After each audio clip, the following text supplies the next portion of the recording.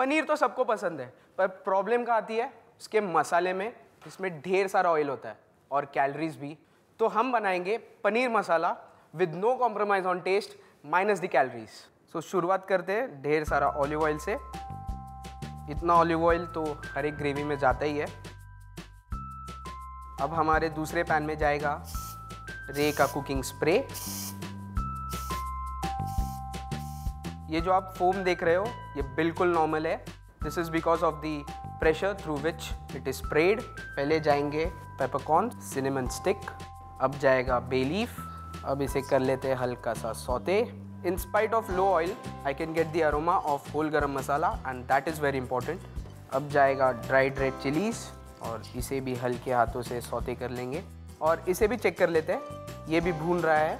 अब इसमें मैं डाल लेता हूँ जिंजर गार्लिक पेस्ट और इसे कर लिया सौते। हमारा जिंजर गार्लिक पेस्ट भून चुका है। अब इसमें डालेंगे चॉप्ड अनियन अब इसे भी भून लेते हैं। यहाँ पर आप जैसे कि देख सकते हैं, ऐसे लग रहा है कि हमने ऑयल यूज़ ही नहीं किया है। इसमें आप ऑयल देख सकते हैं, बहुत सारा ऑयल है इसमें। तो अब जो ये अनियन है, ये भून चुका है। अब इसमें जाएगा टमाटर।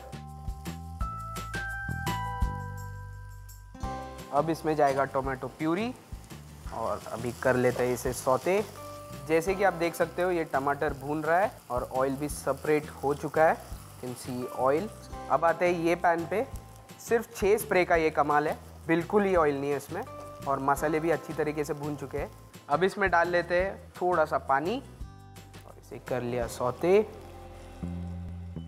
अब इसमें डाल देते हैं रेड चिली पाउडर थोड़ा सा कोरिएंडर पाउडर अब इसे कर लेते हैं थोड़ा सा स्टर अब इसमें डाल देंगे पानी।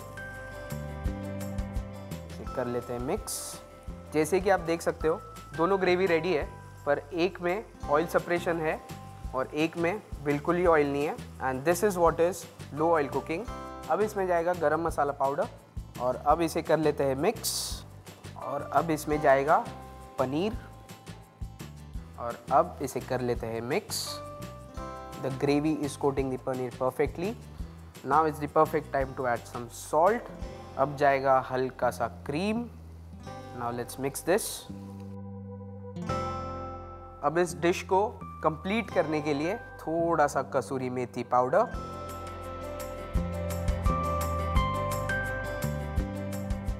let's garnish this with some fresh coriander which is chopped क्या आप यकीन कर सकते हो, ये जो पनीर बटर मसाला है, ये सिर्फ़ दो एमएल तेल में बना है।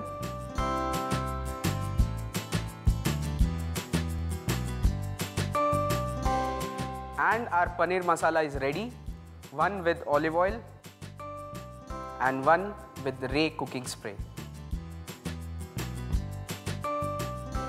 पनीर मसाला तो रेडी है, इसमें मसाले तो है, पर ऑयल बेहद कम। विद रे cooking spray life is sorted.